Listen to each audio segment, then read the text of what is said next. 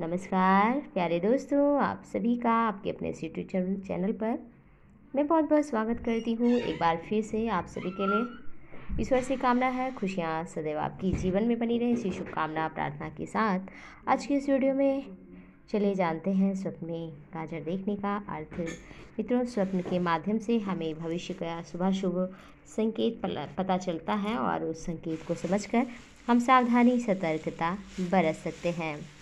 तो मित्रों का गाजर देखा है तो ये सपना शुभ माना जाता है। अच्छा है, ये आपको सुखद भविष्य की ओर संकेत देता है। साथ ही साथ आपका काम पूरा होगा। आपके व्यापार में, आपके काम में अच्छा लाभ होगा। अगर किसान देखता है तो उसके लिए बेहद ही शुभ माना जाता है। फ़सल अच्छा होने का संकेत माना जाता है। तो दोस्तों, आज का वीडियो पूरा होता है। नेक्स्ट वीडियो में फिर से उपस्थित होंगे नई जानकारी के साथ। आपने कोई सपना देखा है तो हमें ज़रूर ज़रूर कमेंट बॉक्स में कमेंट करिए और वीडियो अच्छा लगा लाइक करिए, दोस्तों को शेयर करिए। फिर से मिलते हैं, तब तक के लिए आप सभी का बहुत बहुत धन्यवाद। नमस्कार।